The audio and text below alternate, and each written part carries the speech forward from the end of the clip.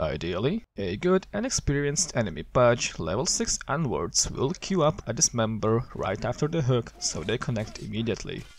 However, sometimes such scenario just does not happen. Maybe the ping is a bit high, maybe the fight is a bit too chaotic, or maybe it's a simple player error.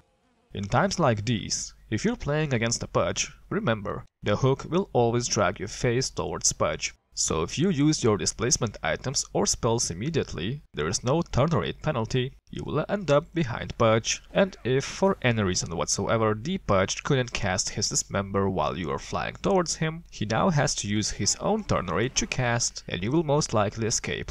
Instant cast point spells and items work best in these scenarios, but sometimes you can also get away with the more sluggish spells too, if the pudge is slow to react. Just remember to always cast the direction you're being tracked to, and then disengage or re-engage as needed. Good luck! I accept this honor on behalf of storms everywhere. Ouch. Mm-hmm.